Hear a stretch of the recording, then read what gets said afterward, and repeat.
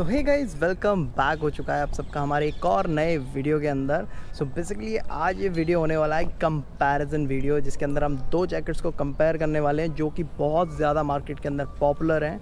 But लेकिन दोनों के प्राइस रेंज के बीच बहुत बड़ा गैप है जिसकी वजह से एक जैकेट के प्राइस में दो जैकेट आ सकती हैं दूसरी वाली जैकेट को अगर हम देखते हैं तो आज जो हम दो जैकेट जो कंपेयर करने वाले हैं वो होने वाली हैं एक तो डी एस जी प्रो और एक होने वाली है एक्जॉर क्रूज टू तो दोनों जैकेट के प्राइजेस के अंदर बहुत ज़्यादा डिफरेंस है। डीएसजी के प्राइस के अंदर दो एक्जॉर की जैकेट आ सकती है, लेकिन दोनों के अंदर प्रोटेक्शन का भी फ़र्क है।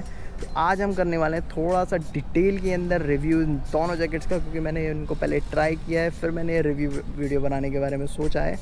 तो करते हैं इस रिव्यू को शुरू।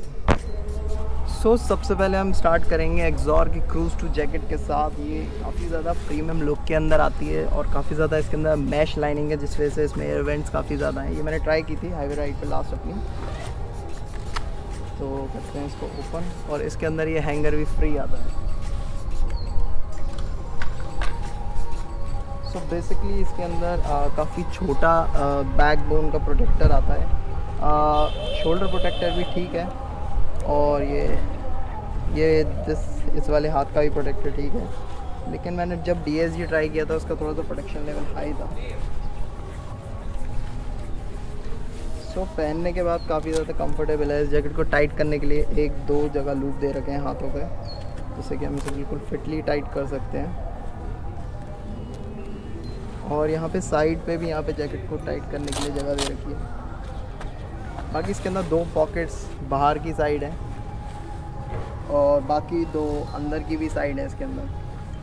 अब इसको टग इन करके देखते हैं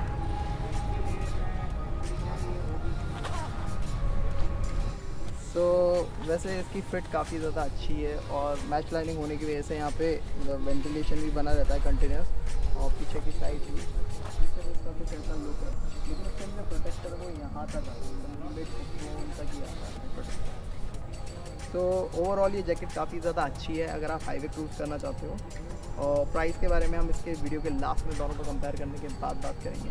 तो अब ट्राई करते हैं नेक्स्ट जैकेट जो कि है हमारी डी एस प्रो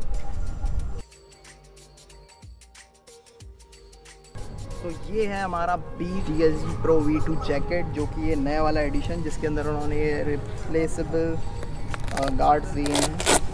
जैसे कि आप देख सकते हो इनको हम रिप्लेस भी कर सकते हैं। और इसके अंदर प्रोटेक्शन लेवल एक लेवल ऊपर है और इसका इवन बैकबोन प्रोटेक्टर भी आप देख सकते हो, पूरी बैकबोन को प्रोटेक्ट करता है।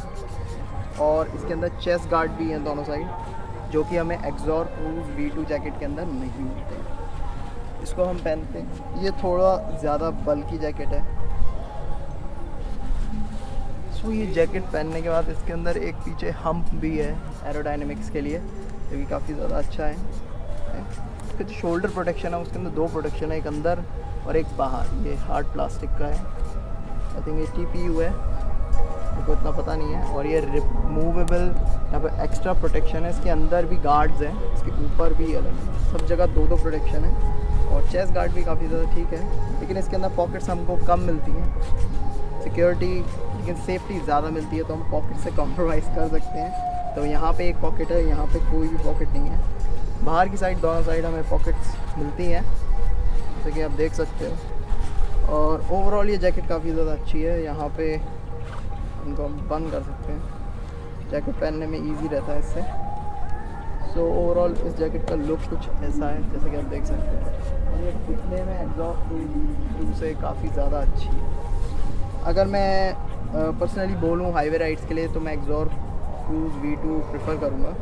ये नहीं प्रेफर करूँगा और शहर के लिए तो बिल्कुल भी नहीं। एक्जॉर क्रूज़ वी टू ज़्यादा बेटर है। क्योंकि इसके अंदर गर्मी एक जो डिसएडवांटेज है, इसके अंदर एयर फ्लो नहीं है। आप देख सकते हो छोटा सा साइडों में बस मैश लाइनिंग है, जिस वजह से अंदर हवा आती है, नहीं तो गर्मियों में आपकी हालत ख़राब होने वाली है। जैकेट तो अभी हमने पहन लिया, ये कर लिया हमने टाइट तो ये जैकेट कुछ ऐसी लग रही है। काफ़ी ज़्यादा टाइट है मेरे आई थिंक मैंने गलत साइज़ ऑर्डर कर दिया तो वो हम चेक कर लेंगे। मैंने ये वैसे स्मॉल जैकेट ऑर्डर की थी, लेकिन इसके अंदर काफ़ी ज़्यादा मैं टाइट फील कर रहा हूँ। तो आई थिंक मुझे एक साइज़ आप लेना पड़ेगा। अगर आपको कोई साइज़ में कन्फ्यूज़न है तो आप उसके लिए डीएसजी की साइट पर साइज़ चार्ट है इनका उससे देख के आप ऑर्डर कर सकते हो। ओवरऑल लुक्स के मामले में अगर मैं सबसे ज़्यादा मार्क्स दूँगा तो वो मैं डीएसजी को दूँगा। सेफ्टी के मामले में अगर मैं सबसे ज़्यादा मार्क्स दूँगा एग्जॉर के कंपैरिजन में तो वो भी डीएसजी को ही मिलने वाले हैं। और अगर मैं प्राइस और बजट फ्रेंडली की बात करूँगा तो एग्जॉर इज़ द बेस्ट ये आती है अराउंड सिक्स थाउज़ेंड के अराउंड जो कि आपको अमेज़ोन पे ऑफ़र के अंदर क्रेडिट कार्ड पे around five thousand to fifty five hundred के बीच में पड़ जाएगी। लेकिन डी पे अभी तक कोई डिस्काउंट नहीं मिला है मेरे को। मैं काफ़ी टाइम से सर्च आउट कर रहा था। किसी भी साइट पे कोई डिस्काउंट नहीं था तो ये आपको ट्वेल्व थाउज़ेंड की पड़ेगी। तो बेसिकली इन दोनों जैकेट्स के अंदर आधे आधे रेट का फ़र्क है मतलब इट मीन्स कि DSG की एक जैकेट के अंदर आप दो क्रूज जैकेट खरीद सकते हो। तो अगर आप नए स्टार्ट कर रहे हो चीज़ें राइडिंग नई स्टार्ट कर रहे हो तो आप एग्जॉर क्रूज़ वी को आप प्रेफर कर सकते हो। मैंने यामा भी ट्राई किया था, लेकिन वो ज़्यादा बेटर नहीं था।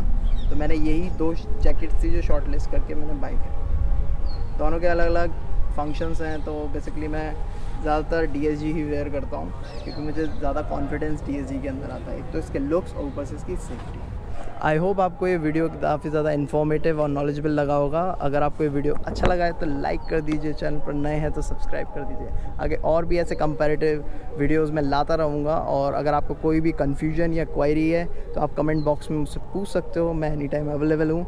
सो करते हैं इस वीडियो को यहीं पर एंड मिलते हैं आपसे नेक्स्ट ब्लॉग में, तब तक के लिए बाय